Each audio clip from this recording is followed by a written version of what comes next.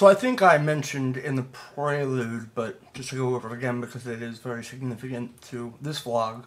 Um, when the surgeon went in um, and removed the tumor from my tongue, um, that that's all good. They think they got good margins. Um, my mouth should be clean of the cancer. But when they went into my neck, they found two lymph nodes. Two. There's usually like hundreds. They got two.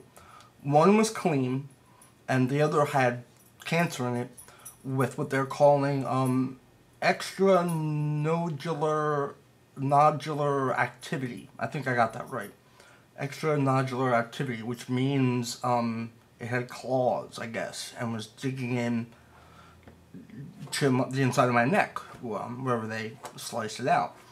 Um, because of that, uh, because it had those little claws or whatever, the hooks, um, all three doctors agree, ear, nose, and throat, um, uh, the, uh, my radiologist, um, that's not right, my oncologist, and then the one that takes care of radiation. Is on here? I guess she's my radiation oncologist. I don't know. Anyway, the three of them say the only way to go now is chemotherapy, radiation. Um, the biggest drawback to that is, um, you know, I'm doing this without insurance, um, and I live on a very fixed income. Um, unfortunately, um, a lot of people's perceptions of uh, Charles and I, uh, my my producer and neighbors, that we're rich because we're filmmakers. We're not. We, we never even got paid for neighbor, that sort of thing. Uh, we're usually the last to get paid. Um, so like I said, this is all out of pocket. Um, I'm not going to say the specific price, but it costs more than the new car I was looking at at the beginning of the summer to do chemotherapy and radiation. Um, before the hospital will even allow me to continue treatment, they want a nice chunk of that. Um, let's just say it's more than 4,000, less than 5,000. But that's still thousands more than I have at my disposal. So I'm not really sure what to do. Um, you know, some friends have mentioned, you know, throwing some sort of benefit together or a beef and beer sort of thing, which would be amazing. That'd be all, you know, well and good. And, you know, I've sort of uh, been beaten down enough in the humility uh, department uh, to take it at this point. But I, I mean, I don't know how that works, and I'm not really going to count on that. Um, what I could do is deny the chemotherapy and radiation anyway, because my point of view is, well, if there was two and they got the one and, and they took out the whole chunk that the little guy was, you know, holding on to anyway, well, maybe they got it. Um, my oncologist, who I actually I really like him, Dr. Ravito at um, Delaware County Community Hospital. You know, him playing devil's advocate, his answer to that was, well, what if you didn't get it?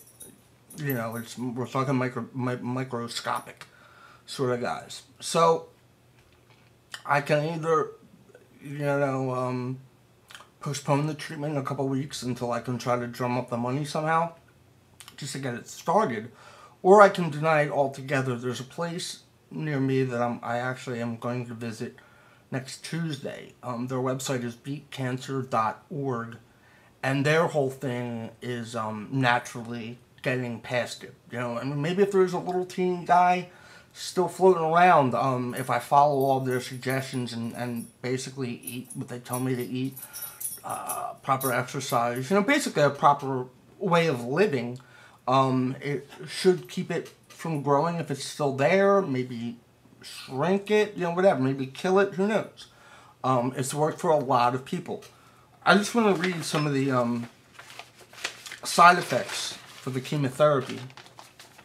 The side effects which may occur during treatment include but are not limited to redness or tanning of the skin within the area of radiation, temporary loss of hair which may not regrow, soreness in the mouth and throat, difficulty, pain, or burning sensation on swallowing, thickened saliva, dryness of the mouth, painful swelling of glands, fluid in ears which may require drainage tubes, hoarseness, fatigue, loss of appetite, weight loss, and decrease in blood counts.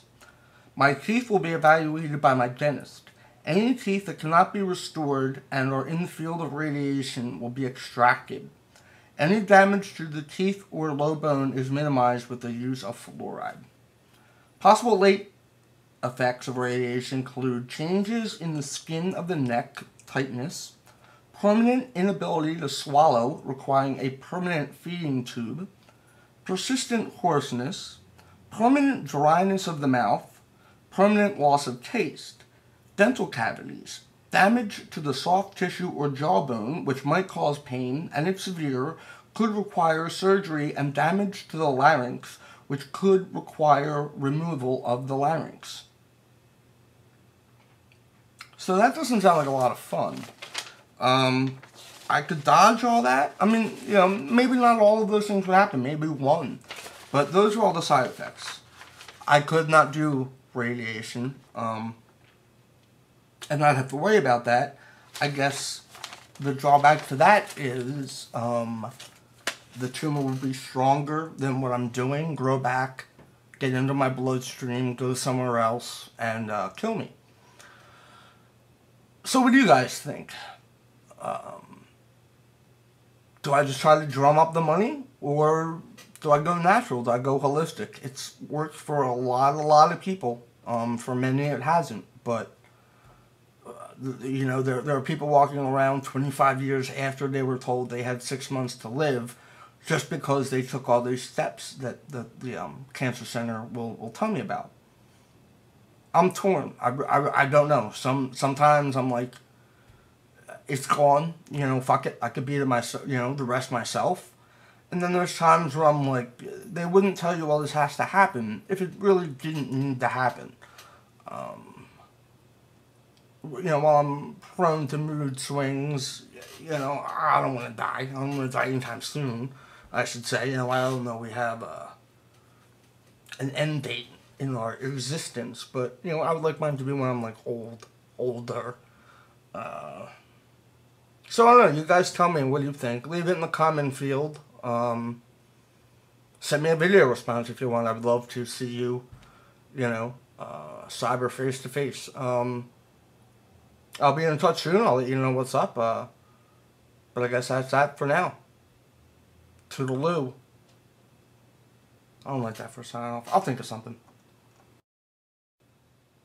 P.S. Special thanks to Kurt Oldman for composing the theme to these vlogs. Um, being a movie nerd my whole life, it's there's something really fun about having a your own theme. So thank you so much, Kurt. Um, I'll be using it throughout the vlogs.